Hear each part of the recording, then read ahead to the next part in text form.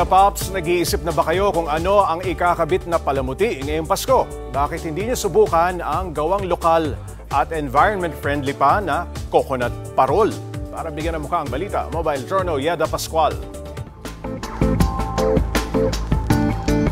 Mga paps, ramdam nyo na ba ang Pasko? Lalo na ngayong nagsulputan na yung mga mabibiling Christmas decors. Kung pinaplano nyo nang bumili, baka bet nyo itong environment-friendly parol na ipinagmamalaki sa Quezon. Sa mga paps nating mamimili na ng pandekorasyon sa Pasko, heto, may bagong produkto na ginagawa ang mga 4-piece beneficiaries ng Mulanay Quezon. Yan ang coconut parol.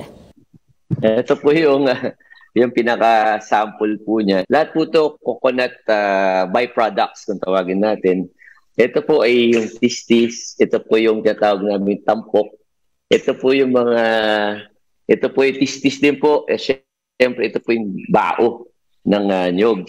Tapos gumagamit din po kami ng yung tinatawag natin bulaklak, bulaklak ng ng uh, nyog. Ito po yun. No? So parang ginagawa po namin mga design po. Matrabaho at di biro ang pagbuo nito, kaya limitado lang sa dalawang parol kada tao ang nagagawa sa loob ng isang araw. Yung pagkuha na lang po nung netong tistis, medyo komplikado na po, lalo po pag hindi marunong makyat po ng niyog. Pwede po silang mahulog or kukuha po sa kawayanan po. Eh, kailangan po, kung makakuha pong gantong kawayan is maganda, matibay po para maulan marawan man po, eh, hindi siya basta-basta masira. Saka matagal po dito, yung maglinis po. Tapos yung, yun, magpapainis po nito. Tapos susukatin pa po siya kung gaano kalapad at kung gaano kahaba po. Dalawang daang piso hanggang isang libo ang halaga ng bawat parol depende sa laki at sa materyales na ginamit.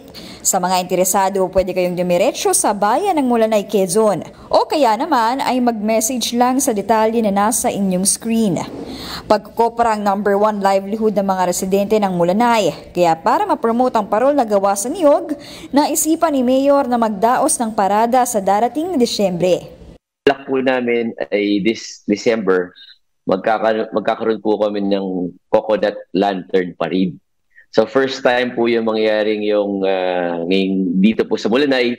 So 28 barangays po, iimbitahan po namin ng iba't ibang barangay.